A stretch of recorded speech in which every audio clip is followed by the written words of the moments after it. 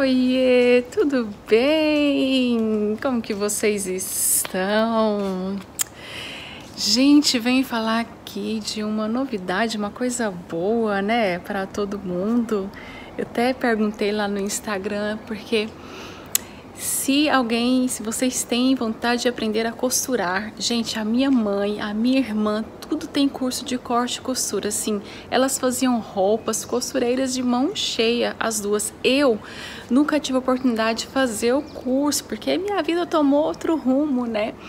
Mas mesmo assim, gente, eu me viro. Vocês já viram aí em vídeo eu fazendo minhas máscaras, eu faço as minhas próprias cortinas, é, forro de colocar na casa, né? Aqueles forrinhos ou pano de prato, sempre me virei.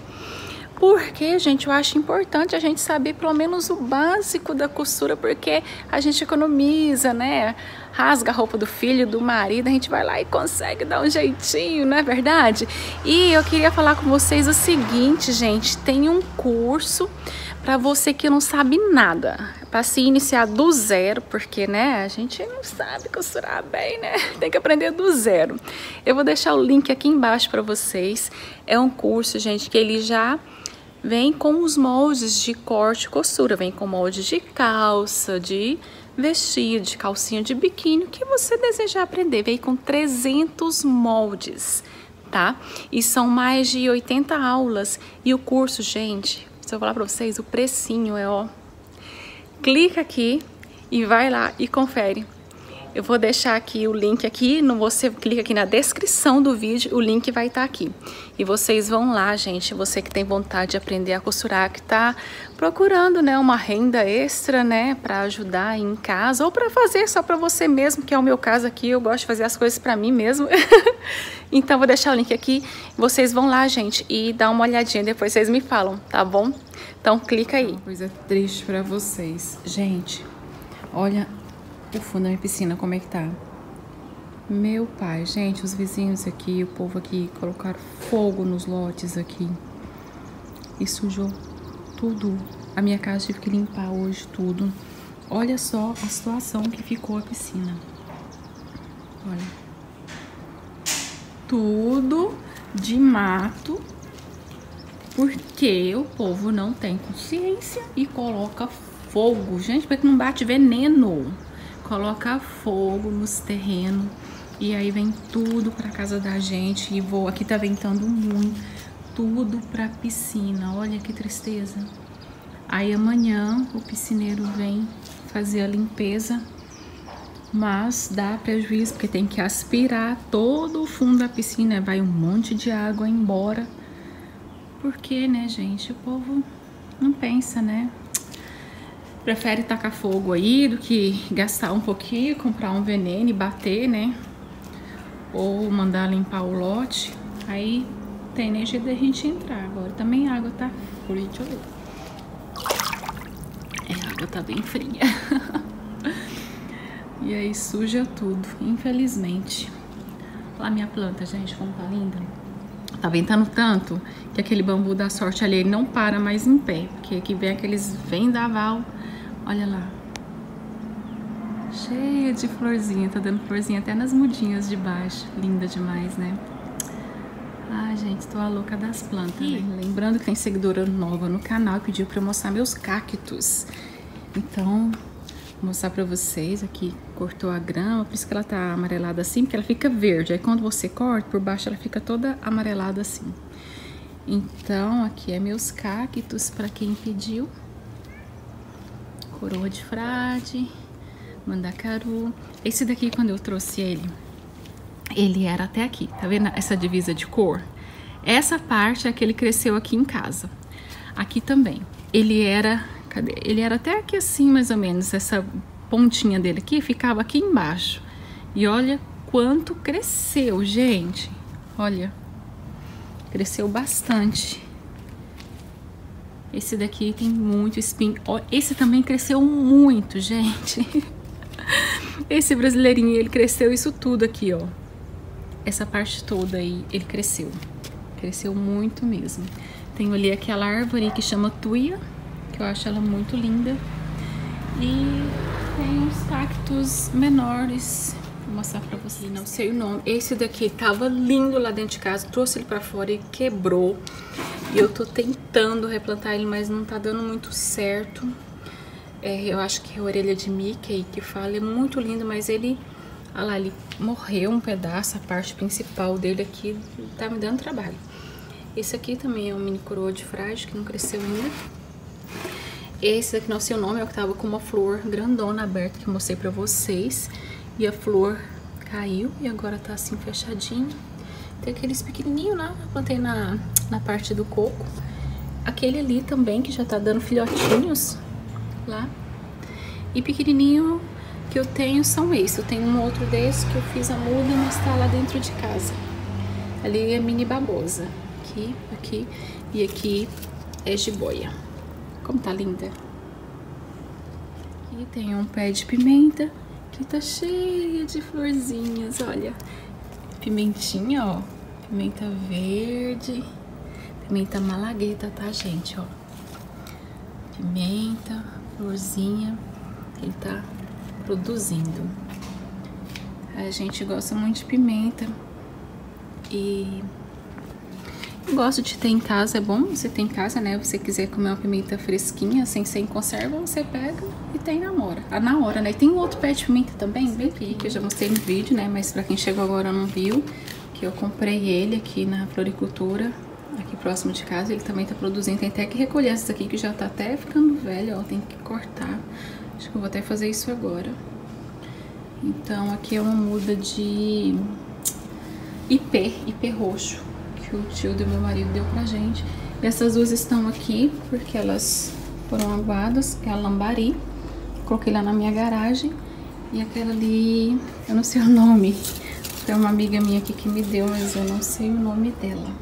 Ela dá flor. E essa daqui, a moça falou que não dava flor. Mas eu vi aqui uma florzinha. Ah, ela já secou. Ela deu uma florzinha lilás bem aqui. Eu não tô vendo outras. Mas ela dá flor sim. Pelo menos essa daqui eu vi uma florzinha e eu não tô enganada lá, ó. Tá até aqui a corzinha dela, que ela já secou. Aqui temos a rosa do deserto que vai florir, gente. Já está na floração. Né? Bem linda. Aqui também tem a, da mesma cor, mas aqui ainda não saiu flor. Aquela ali é a muda que eu fiz. E aqui fora são essas plantas, olha, tudo sujo de mato queimado, porque eu limpei o, o quintal e não vim aqui na garagem, não olhei, aí de lá vou pra cá, tá tudo aqui no canto, tem que lavar isso aqui tudo. Mas aqui é meu quintal na parte de fora, pra quem não conhece. E ali tem a minha espirradeira. Olha que linda. Tudo colorido, gente a minha espirradeira linda, que é o destaque aqui do quintal do jardim aqui de fora é ela. Olha, gente. Ai, como eu sou apaixonada nessa planta. É uma planta tóxica, mas é muito linda, gente. Muito linda mesmo. Oi, gente. Tudo bem? Que já é outro dia. Mostrar pra vocês aqui, gente, a persiana. Eu coloquei aqui, não mostrei pra vocês ainda, né? Ó, coloquei essa prateleirinha aqui pra colocar uma plantinha, né? Coloquei uma jiboia. É, provavelmente vou colocar outra aqui também. E eu comprei essa cortina rolô. Tá vendo? Ela tem um blackout. Fica bem escurinho aqui porque aqui tem que ter cortina, porque na hora de duas horas bate reflexo da pia, então dá nem pra usar a pia se não tiver cortina. E aquela de... como é que é o nome? De renda. Eu já tinha enjoado dela porque ela ficava voando, porque aqui venta muito. E ficava batendo ali na, na torneira toda hora, batendo nas colheres. E aquela lá eu que tinha improvisado ela, né? Porque ela era de outro modelo, ela era maior e eu que costurei, ajeitei ela, coloquei ela pra ser de varão, porque ela não era. Eu já, acho que eu já tinha até comentado com vocês em outro vídeo. Aqui tem essa cordinha, ó. A gente puxa ela, é dessa marca aqui. Mandei fazer em Goiânia, faço de medida, vocês não reparam a balança lá de fora. E fica assim, ó. Aqui tem um de canjica que eu quero fazer. Alguns lugares falam mungunzá. Aqui, por exemplo, eu acho que fala mungunzá. Deixei de molho, quero fazer hoje. Vou fazer almoço. Ah, chegou isso aqui hoje, ó. Eu comprei isso daqui. Na verdade é um porta-algodão, mas é da cor âmbar, igual do vidro ali, né? É, e eu vou guardar a bucha, bucha de cozinha. Por enquanto, né? Não sei. Vai ficar por aí aqui. Tem que jogar esse arroz fora que sobrou de ontem à noite. E aí eu vou fazer meu almoço. Gente, muita gente me pergunta sobre essa chaleira linda aqui. Eu comprei ela no Mercado Livre, mas infelizmente ela tá em falta. Não sei se saiu de linha. Ai, desculpa, gente. Não sei se saiu de linha ou o que foi, mas uh, o vendedor não tem mais dela. Ela é grande, ela é de 2,5 litros e meio. Ela é linda mesmo. Minha garganta tá ruim, gente. E ela é esmaltada por dentro também, ó. E eu uso ela todo dia, porque eu gosto de fazer arroz com água quente, né? Já deixar tudo prontinho ali. E aqui tem um vasinho ali que tem que dar uma podadinha naquela planta, tá uma baguncinha. Aquela plantinha ali que eu arranquei no, no mato aqui, perto da minha casa, morreu. Tem que ir lá arrancar outra. Ver se vai dar certo, porque aquela ali, acho que eu coloquei adubo demais e ela não aguentou e morreu, porque adubo demais também mata as plantas, gente. Tem uma ali também que foi minha tia que tinha me dado, ela também morreu, morreu duas plantas também, tô bem triste. Mas, né, vida que segue. Aqui tá a sala. Gente, tô apaixonada nesse sofá. Ele é muito confortável, muito. Tá esse, esse, essa manta aqui pelo seguinte. É, quando eu vou deitar, assim, depois do almoço, algum filme, alguma coisa, pra evitar de sujar o sofá, né, gente? Então, eu tava deitada e ontem eu deixei ela aí. É, mas quando vier visita, né, ou a gente não estiver usando, a gente tira, assim. Mas eu gosto de deixar ela aí pro caso, né, de deitar ou cair alguma coisa em cima, não ficar sujando o sofá. Aqui tá assim, eu só inverti a samambaia, passei a, a de lá, que tava aqui, Passei pra lá e troquei essa daqui, né? De lugar só. Vai ficar aqui. Muita gente fala ah, que tem muita planta. Uma pessoa falou, né? Tinha muita planta na sala e já tinha no jardim inverno. Gente, vai ficar assim. Eu gosto assim. Aqui eu posso encher de plantas. Não faz mal. Gosto de planta. Se você não tá, você não deve estar tá, é, muito conectada, mas planta tá super em alta na decoração na casa toda, tá? Eu não tenho necessidade de ter só lá dentro. Eu posso ter onde eu quiser. Planta, planta você muda ela de lugar. Um dia ela tá aqui, outro dia ela tá ali embaixo. Cada dia tá num lugar. Então, não faz mal ter planta no quarto. Eu recebo muito essa pergunta sobre plantinhas no quarto e não faz mal, tá? Ela é, usa oxigênio? Claro que usa. E não é só à noite, ela usa o dia todo. Só que a quantidade que uma planta usa é mínima. E a fotossíntese dela ela faz durante o dia tá bom? Então vocês pesquisem aí, tá? Mas não tem problema ter planta no quarto, do lado da cama, não tem problema nenhum. E sugiro alguns até Instagrams para vocês seguirem, que falam muito sobre essa questão de decoração de planta na casa, que é o é, Life by Luffy. Também o A Casa do Beto. Não, a Casa do Beto não. É Cafofo do Dani. A Casa do Beto é uma casa linda também mas indico aí para vocês seguirem lá. E também tem um outro de uma moça que...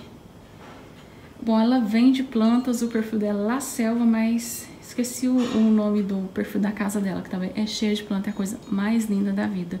Então, sem paranoia, né, gente? Não tem que ser tudo certinho, ai, porque a sala tem que ser com o sofá, um rack e uma mesinha de centro e pronto. Não, tem que ser com o que você quiser, com o que você gosta, com o que você se sente bem, né? Ai, porque tem tudo que combinar. Não tem que combinar, não existe uma regra. Você faz do acordo é, do seu gosto, de acordo com o seu gosto, entendeu? O importante é você se sentir bem no ambiente que você está. E eu me sinto muito bem, muito feliz, muito satisfeita e vai continuar assim, tá bom? E eu vou fazer um almoço agora, que já é 11, 11 horas, 11 h 10 não sei o que eu vou fazer ainda. Frango eu sei, porque já tá temperado. Então vou fazer um franguinho. Tem um pouco de feijão já pronto. Um arroz e alguma verdura que eu ainda vou escolher. Meninas, essa panela, ela é um amor para lavar, viu? Só uma buchinha, não prega nada. Muito fácil de lavar. Feijão aqui. Eu comprei mais duas dela. comprei uma menor do que essa daqui, que é a 16, que eu falei que eu queria comprar. E uma de de 24, daquela grande. Então, vou ficar com duas grandes. Eu vou buscar hoje, já chegou. Mas eu não fui lá ainda, vou na parte da tarde buscar.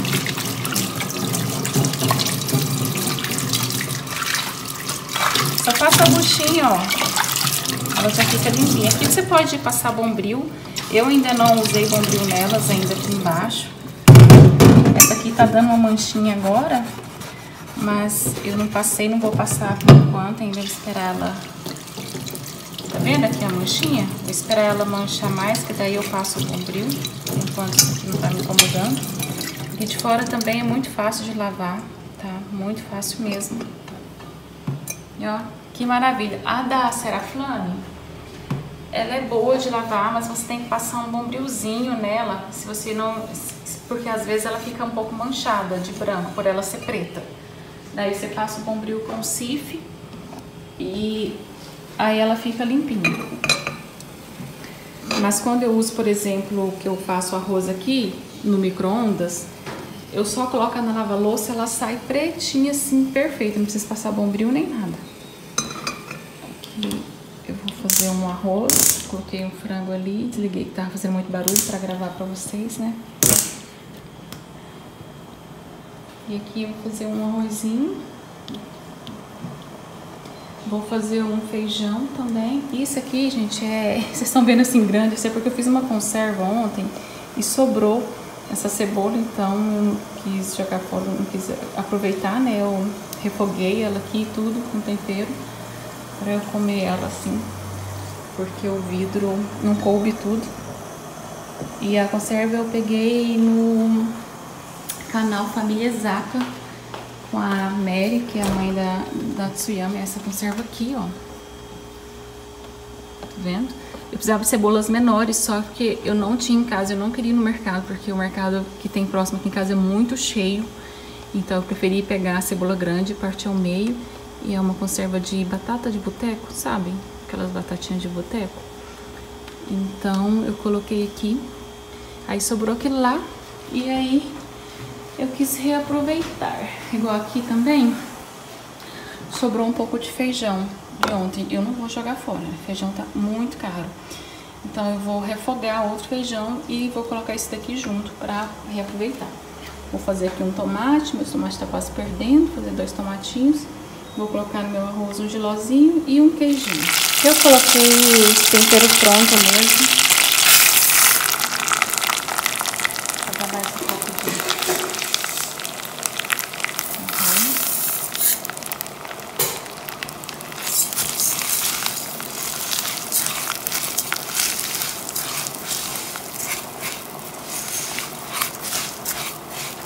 Eu deixo dar uma pitadinha e já coloco a água quente, né? Coloco a água e de novo. E no final, quando eu estiver já apagando o fogo, eu coloco umas fatias de queijo fresco.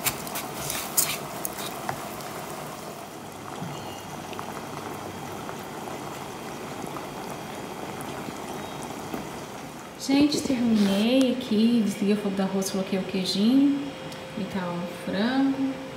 Aqui joguei mais um temperinho, feijãozinho, né? E aqui no tomate eu só coloquei, joguei um salzinho com limão. Não vou fazer mesinha bonitinha hoje, tá só eu e meus filhos e eu tenho que sair agora depois do almoço, tô corrida, tem muita coisa pra fazer hoje. E ficou assim, bem simples, mas bem gostoso e no capricho. Vim finalizar o vlog tá? Se você chegou aqui no canal agora, tá? Você não sabe o nome, o nome é Cecília. Você está no canal Rosa que Decora e eu também tenho um Instagram com o mesmo nome, Rosa que Decora. Eu posto fotos da minha casa lá praticamente todos os dias e faço stories também praticamente todos os dias. E muita coisa eu conto lá e não conto aqui para vocês, porque lá é mais dia a dia, né? O que tá acontecendo ali no momento. E às vezes eu esqueço até de mostrar coisas mesmo, às vezes eu mostro, tudo eu mostro primeiro lá e depois que vem para cá. Tá? Então, se você ainda não se inscreveu aqui no canal, se inscreva e se inscreve lá no Instagram também. Que Deus abençoe você, sua família, que Deus abençoe esse restante de quarentena, né? Que isso tudo passe logo, porque, meu Deus, isso já tá chato, né, gente? Não tem o que fazer, né? A gente é obrigada a manter o distanciamento, saudade, gente. Aqui a gente já tá quatro meses então, sim, saudade das amigas, de visitar, de sair de casa, né? Mas o medo é maior. Não dá, né, para poder levar a vida normalmente. Então, vamos orar, né, para que tudo isso acabe logo, gente. Que o final do ano, meu Deus, eu tenho ah, esperança de que o final do ano esteja tudo bem, né? Que tudo volte normal em nome de Jesus. Então vamos orar, né? Segurar na mão de Deus e pedir a bênção dele para que tudo isso passe logo. Deus abençoe você e sua família e até o próximo vídeo. Tchau!